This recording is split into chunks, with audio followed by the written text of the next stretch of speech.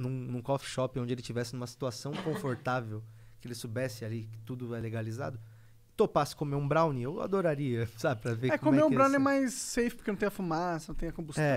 Mas é uma parada tão distante hoje aqui que pelo menos dar esse passo pra mim foi legal pra eu poder sair do armário. Eu acho que os, os maconheiros de bem têm que sair do armário, tá É, ligado? Eu gosto dessa parada de sair do Porque armário. às vezes o, a, o- a voz da maconha é só do combate, tá ligado? Do Planet Hemp, da, que precisa disso também, tá Uhum. ligado? Às vezes precisa da porrada.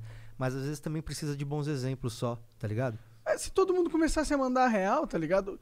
E falasse, eu fumo, e as pessoas começassem a perceber que, tipo, muita gente, você nem ia imaginar, fuma. Mano, tem gente que certeza que fuma. Mano, sabe quem que fuma? Hum, Ana Maria Braga, certeza. com certeza. Fuma. Mano, ninguém tira uma lasanha 8 horas da manhã do forno, tá ligado? tipo, isso aí é larica de velho.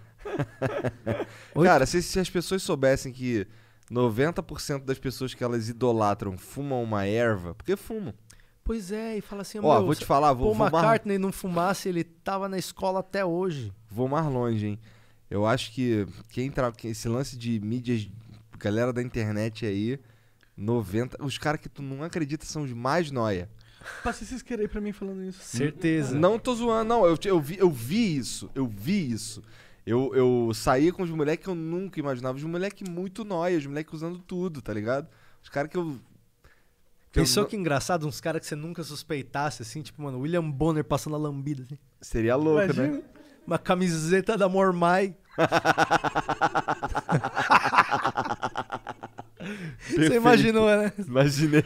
Camisetona da Mormai, já chega logo a Fátima com a bandejinha assim, ó, com o chavador, Nicoboco. Da esquadra Fum o negócio. Então vocês puxam fumo, eles dois na casa deles em Maresias, você lá. É louco, né? Pensou não que duvido, louco? cara, não duvido. Chega o Cid Moreira com uma sacola cheia de camarão.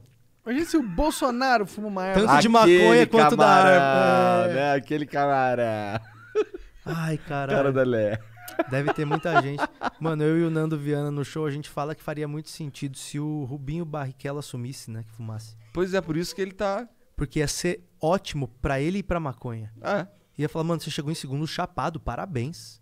O segundo homem mais rápido do mundo chapado, parabéns. é, parabéns pra caralho. E pra maconha ser do caralho também. Fala, não fuma maconha senão, senão o quê? Senão eu vou ser o segundo homem mais rápido do mundo? Verdade. Eu não sabia que ele fumava. Não, não, não, nós estamos só supondo. Ah, tá. Tomara que fume, porque Mas ia é ser bem bom. possível, né? Ia explicar muita coisa, irmão. Eu acho que fuma. Eu acho que todo mundo. A Xuxa deve fumar. Acho que o Carlos Alberto de Nóbrega deve fumar. O Silvio Santos deve fumar uma sinistra, só as melhores. O Silvio Santos, você tá ligado que já tá no quarto Silvio Santos já, né? Já tá. É, um, é um robô. É, É um tipo, os androide. caras vão atualizando. Tipo, mano, é um puppet. É tipo Família Dinossauro, tá ligado? Família Dinossauro.